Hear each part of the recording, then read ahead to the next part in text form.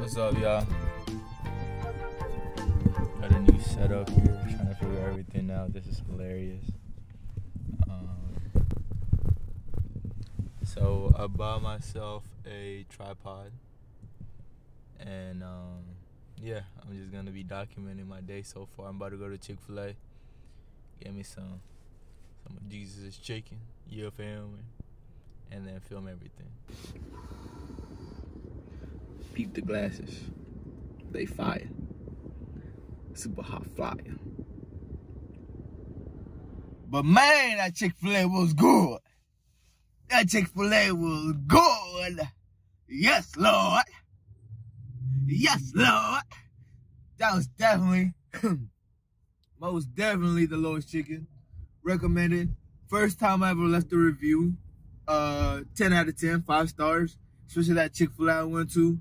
That manager, so caring. Oh my goodness. he deserves a promotion. I don't know what kind of training they do at Chick-fil-A, but that training needs to be imposed in every single company in this United States world. That everybody needs to go to that training.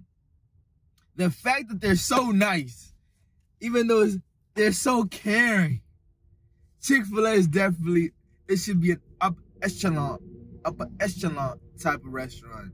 Definitely gourmet. I don't know what they're doing in the back. They need to keep it up. Chick-fil-A sauce still hitting.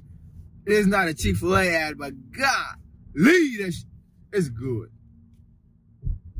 I know I can eat other places, no matter how wealthy I am. no matter how much money is in my bank account, I will always, always come back to Chick-fil-A. Look at my eyes. I am not lying. I'm always gonna come back to Chick-fil-A. I don't know what they're doing, but they need to keep it up. Hey, Chick-fil-A. Yes, Lord.